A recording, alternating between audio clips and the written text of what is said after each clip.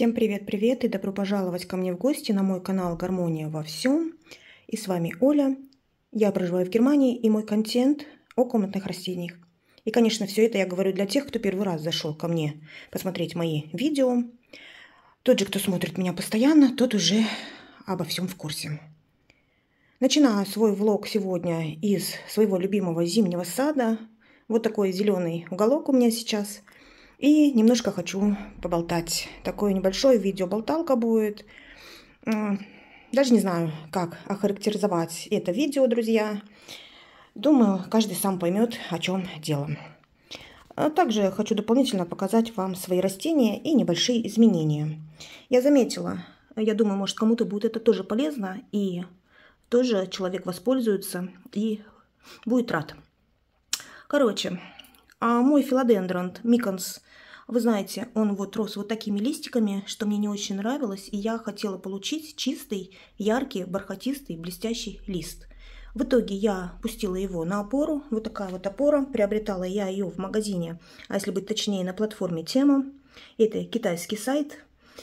А, накрутила его сюда, и, о чудо, смотрите, какие листочки он стал мне давать. И цветовая гамма у молодых листьев очень красивая, и лист более ровный, имеет блеск, лоск даже, я бы сказала, и меня все устраивает. И, кстати, тронулся хорошо и активно в рост этот цветок. Это растение. Да, бывают люди, которые не переносят слово «цветок», когда мы, блогеры, рассказываем о своих любимчиках и называем их цветами. Им предпочтительно слышать, что это именно растение. Мы будем стараться говорить растение. Куда же деваться-то? А вот такой сцинапсус пиктус треби тоже радует меня. Он раскрутил уже свои листики. Вот так вот еще полностью их не выпрямил. Хотя влажность воздуха в моем зимнем саду до обеда она прекрасная, под 70%. В течение дня она скачет от 30 до 45%. Но ничего, стоим, растем. И также филодендрон а, бразил сканденс.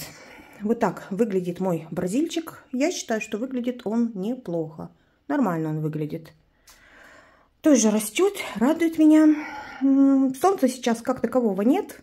Оно ушло. И прогноз погоды, а я смотрю прогноз погоды, частенько смотрю, стараюсь смотреть на две недели. А, ну, что могу сказать? 12-18, это в течение двух недель, трех. Ну, короче говоря, сегодня у нас 3 мая и до 19 мая вот такая погода.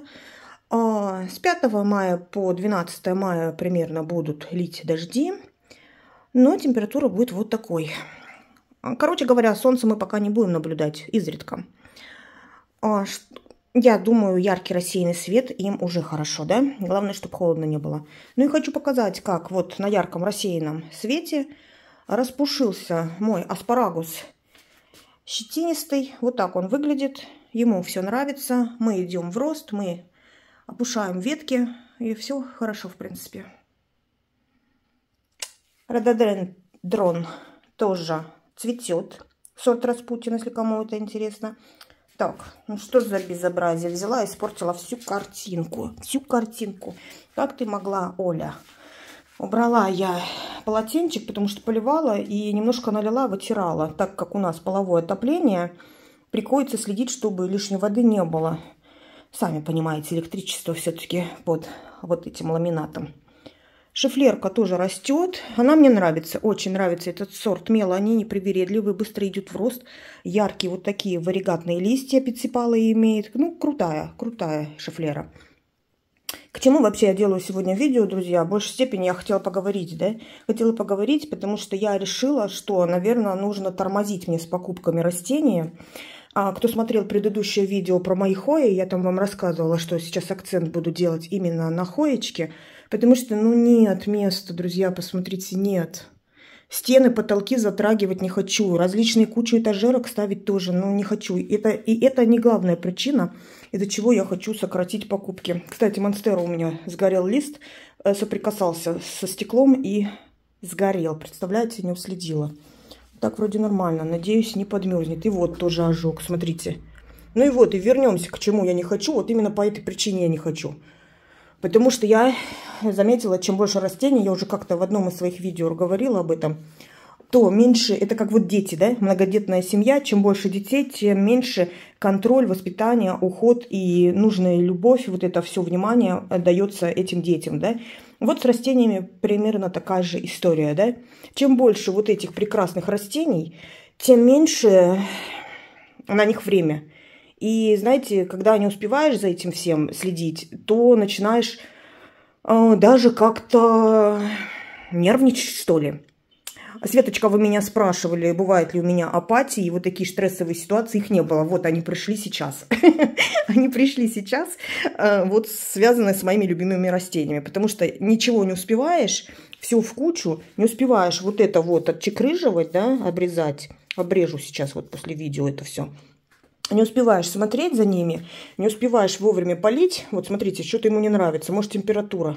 Он политый. Я его поливала э, в субботу или воскресенье. Сегодня у нас пятница. Вот. Короче говоря, я решила, друзья, я сделала для себя выводы, как я и говорила. Пусть будет то, что есть. Или даже если что-то вот погибнет, когда-то что-то погибает, портится, да. Но это будет в ухоженном состоянии, да, в ухоженном, а не так себе стоящее, что-то зачуханное, замызганное, засушенное, да, я этого не хочу, не хочу я их доводить до такого состояния, потому что я сейчас на них смотрю, я не скажу, что я прям в ужасе, да, что они мне не нравятся, но во многих растениях я не вижу сейчас этого лоска, и я не вижу того, что я хочу видеть, да, я не вижу этого. Я вижу в некоторых, да, вижу, но не во всех. А я хочу это видеть во всех своих растениях, понимаете? Вот такой какой-то прям крик души, что ли, получается. Короче, два дня, два дня у меня вот это состояние. И вот я сижу и думаю, и думаю, что же мне делать. Я уже вообще хотела всю вот эту мелочь собрать, вот эту всю мелочь. Видите, пеперомия тоже что-то не нравится, может, перепад температуры. Вон та вот обрезанная пеперомия вот это вот, что я пересаживала, да, фитония, потом вот это вот пеперомия. Короче, уже хотела все собрать и в одну кучу все посадить, вот эту мелочевку, да, как вот садики делают. Ну, думаю, ничего хорошего из этого не получится, поэтому вот сейчас стоит, как-то стоит. Не знаю, друзья, вот не знаю, уже смотрю, и не радует меня, мой глаз это не радует. Вот эта вот мелочь, она меня уже не радует. Я не знаю почему. Напишите, у вас такое бывает вообще? А, потому что а, это какое-то прям перегорание, что ли, я не знаю, как это назвать, но а, дошло до такой степени, что а, для некоторых, знаете, для некоторых само растение, наличие растения в доме, это уже хорошо, да, человек купил растение, поставил на подоконник или куда-то, да, и ему хорошо, там он его поливает туда-сюда, да. У меня когда-то тоже было так. Но сейчас для меня это нехорошо. Для меня сейчас это как переросло в какой-то перфекционизм, да. Мне нужно, чтобы растения были вот холененькие, плотненькие, красивенькие, пушистенькие. Также эстетика важна, да. Я не хочу, чтобы это все было напичкано. Вот как сейчас стоит эта клубника здесь у меня, да. Казалось бы, хорошая клубника, да? Ну, не считая пару желтых листиков. Но я этого не хочу. Я уже жду, когда начнется сезон, и я выставлю ее на террасу. Эм, я не знаю, понимаете ли вы, о чем сейчас идет речь в моем видео или нет. Хотелось бы, чтобы да. Я хочу вот, как вот э, мой, моя толстянка пошла в рост, да, я рада. И Чеверия пошла в рост, она красит э, свои листочки, я рада. Вот. Короче говоря, наверное, наверное, больше лишнего покупать я ничего не буду. И буду заботиться и лелеять свои растения те, которые у меня сейчас в наличии. По крайней мере, я буду стараться это делать, да, друзья? А, не знаю. Или, знаете, другой вариант есть, тоже такой вариант, я думаю, хороший. А может быть, некоторые... Вот я сегодня сидела и думала, от каких растений я бы могла избавиться, да, вот которые мне как бы есть, э, что не очень радуют. Ну, тоже до такой степени доходит, что мне даже с ними жалко расставаться. Вот это бред. Это какой-то бред. Я уже думала выставить кое-что на eBay, да, а, на продажу. И думаю, а что выставить? Вроде все, вот как в том мультике, эта корова нужна самому. Помешательство. Помешательство. Ой. Короче, говорю одно, делаю другое. А, мало места, мало места. Ну, я уже заказала себе очередную посылку. Очередной свой заказ. Ну да, я заказала те растения, которые сейчас у меня в приоритете, и я думаю, уже многие догадались, какие, да. А, думаю, несложно догадаться. А, для них есть место, для них есть место. Я уже все подготовила. Вот. Ну вот с этими вот нужно что-то делать. А, я рассчитываю так. Комод сейчас подготовим, нужно его залакировать. Вот это вот я сейчас обрежу, вот посмотрю, короче, что здесь. А, некоторые цветы, ну там немного цветов тоже поместится. Я же всю вот эту кучу туда не установлю, да. У меня в плане а вот этот э, ипопремном, потом ихмею туда поставить на комод. Потому что я хочу потом там поставить сбоку вот эту этажерку золоту, золотыми кашпо, да, и они будут перекликаться вот с этими золотыми кашпо. Мне кажется, это будет э, красиво смотреться. Но я не знаю, как это будет смотреться. Я просто предполагаю, да. Если нет, то, конечно, я уберу. А, ну, что я туда могу еще поставить? В принципе, в принципе, ну, ничего не идет на ум. Что я могу вот отсюда туда поставить? Здесь, в принципе, как это все стоит, так оно, наверное, и будет стоять до тех пор, пока я не возьму себе еще одну этажерку, лесенку деревянную у меня есть в плане взять. Куда только я ее поставлю, это тоже вопрос, друзья. Это тоже вопрос, может быть, вот сюда, под этими окнами. Не знаю, что из этого получится и как это будет смотреться, потому что еще же в планах ставить мою этажерку в пол. Тоже будет стоять моя этажерка в пол рядом с комодом. И, короче говоря, вот представьте, когда столько растений, и вот это вот, это одно дело полить один подоконник или два подоконника. А это, знаете, получается, я хотела разгрузить свои окна все, да, и поставить все растения в зимний сад. Вы думаете, я их разгрузила? Нет. На кухне два полных окна. Внизу три подоконника, они тоже все полные, друзья. В зале, как на окнах висели у меня э, Хильда Винтера, но она там останется висеть, потому что я ей рисковать не хочу. Пусть там висит, да? А, Хильдевинтера, а, филодендрон, царица ночи, папоротник из хинантус как висели, так и висят. На других окнах так, такая же петрушка. Вообще. А зимний сад не резиновый, да? Вот куда? Куда это все ставить, друзья?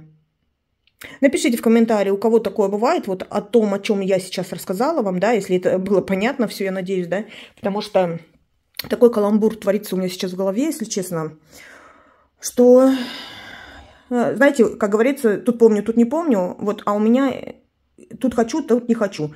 И все мне надо, и все мне жалко. И вроде бы и места нет, да, и все равно покупается. Короче говоря, наверное, надо сделать термин и пойти к врачу на проверочку. Потому что вот это дело, это ненормальное, друзья. Это ненормальное. Это какая-то вот реально цветанутость цветанутость. По-другому я не могу. Не могу я ничего сказать по-другому. Вот так. Вот такое видео для вас сегодня.